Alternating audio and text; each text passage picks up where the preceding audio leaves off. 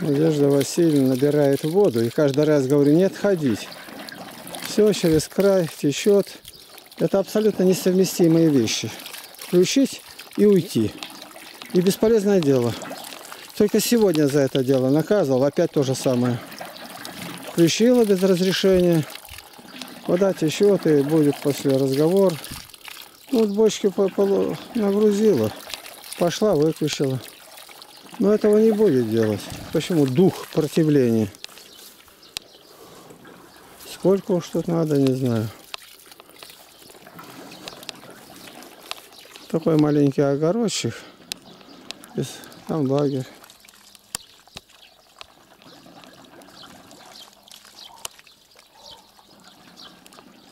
Лагерь. Качает и качает и качает. И сколько стою. А куда? Никуда. Включила и ушла. Женская логика. А я тут то разговаривала, то плитку не включила, то что я ничего не могу сделать. Никак. То есть отключил скандал. Дал. Ну все, выкачал из колодца. Сгорел насос. Детям моим негде воды утром почерпнуть. Ну надо, бери ведро тут, у коловорот там черпай. Это бесполезно. Женская логика одно. Или мужика покорить, или остаться без мужика. Был бы неверующий, еще говорит.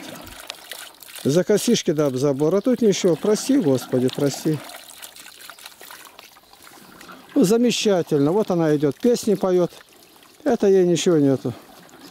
А рык... Да, завернить мужа в первую очередь. Я унесла, я унесла воду домой. Ну, конечно, конечно. Что угодно может быть, только не то, что я говорю. А я говорю, не отходить, когда качают, не отходить.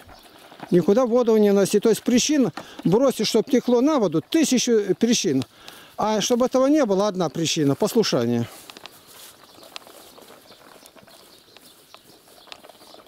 Бедная вода, как она нас терпит. И при том абсолютно ничего нельзя сделать. Той стороны приходится выключать и не допускать. Опять скандал. А как лучше? Ну, лучше не пить и не есть, и не родиться. Это, конечно, наилучший вариант был бы нам. Но раз есть, значит, порядок определенный. Везде существует норма. Включила, разрешил. Условия не отходи, куда качают бочки. Набрала, выключила. Но не так, чтобы качала и качала. Это же не озеро, а колодец.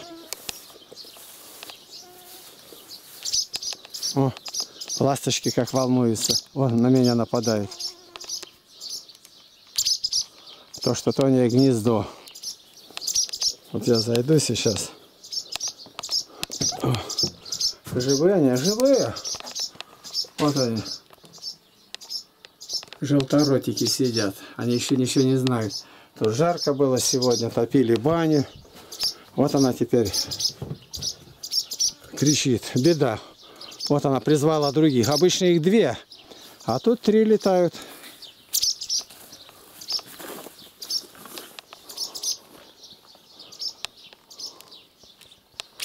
О, как налетает, готова клюнуть. А кого? О, ласточка, косаточка.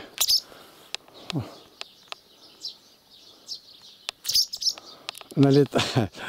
Ну, что она может сделать? А вот прогоняет криком тревожно.